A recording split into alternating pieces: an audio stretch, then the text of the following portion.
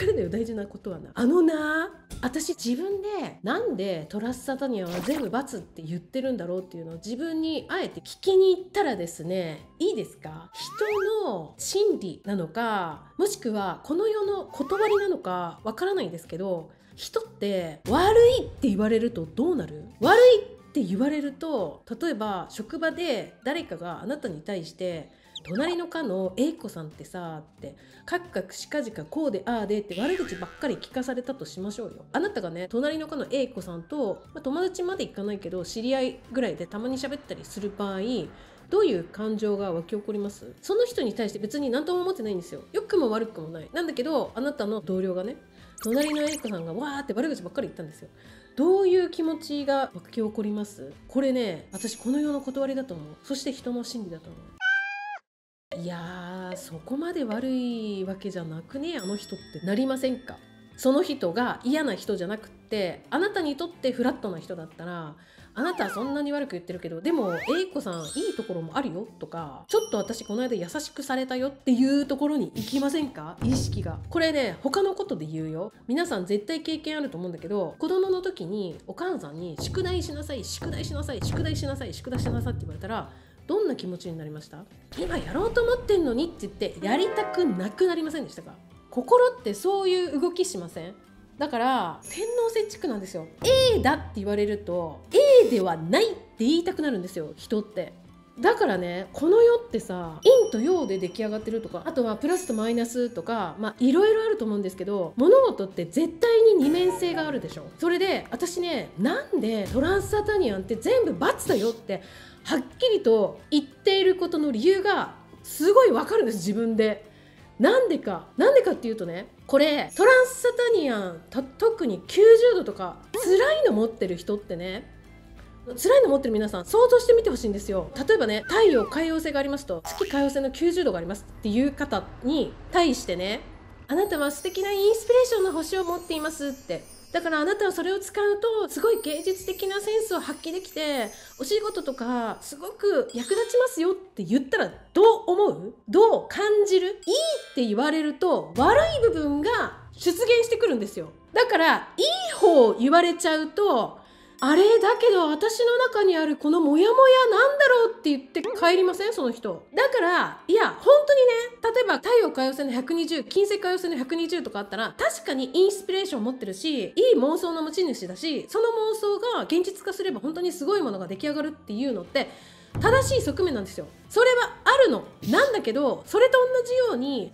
ポジティブがあればマイナスの側面が必ずあるから占い師がそれを言っちゃうとその人が家に帰って湧き起こるのはでもそうじゃない自分がいるけどこれって何なんだろうなんですよ。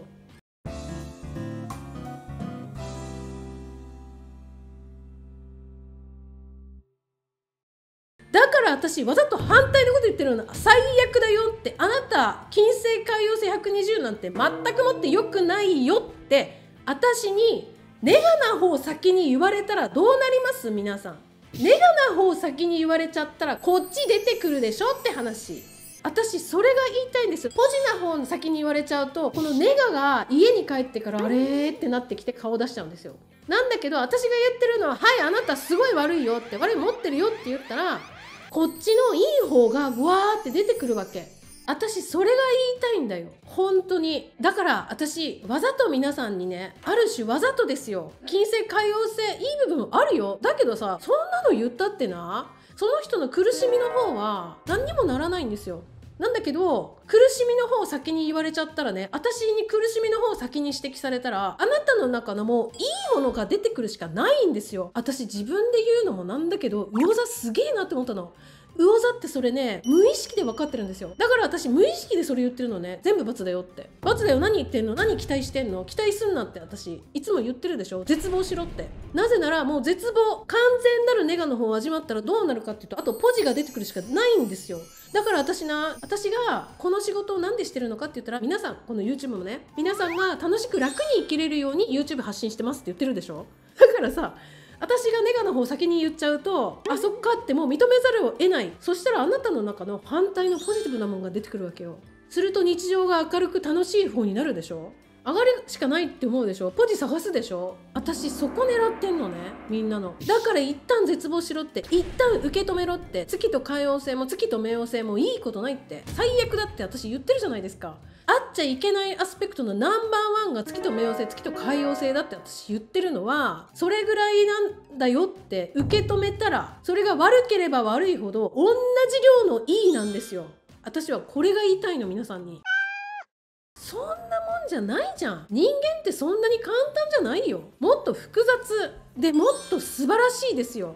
ネガに触れるっていうことはもうポジしか残らないんです。そして私はあえてそのポジを言わないんです。なぜなら聞いているあなたが勝手に感じてほしいからです。私にポジのレッテル貼りされる前に私はあなたのネガにレッテル貼ったから後のポジはあなたが勝手に自分の心の中で感じてくださいって。そのために私言ってるんですよ。厳しい方を。厳しい方を言われるとその時はショックですよ確かに。私そんなの持ってるんだ。なんでそんなの持って生まれちゃったんだろう。私は自分のホロスコープ大嫌い。嫌ったらいいじゃないですか。大嫌いで大嫌いでもしょうもないほどそこまでいったらもう上がるしかないんですよ。好きになるしかないんです。そこの道しか残さないんです私は。どん底を味わえば味わうほどそのどん底が深ければ深いほどこの世の法則として必ずポジに転じます。必ずですよ。必ず。絶対だからね。それがこの世の法則だからです。ということでね綺麗事ばかり言ってると人生がうまくいかないっていうのはそういう意味です。綺麗とかねポジティブばっかり見てるとポジティブばっかり意識を合わせよう合わせよう合わせよう合わせようってばっかりするとネガがわーってもっと出てきます。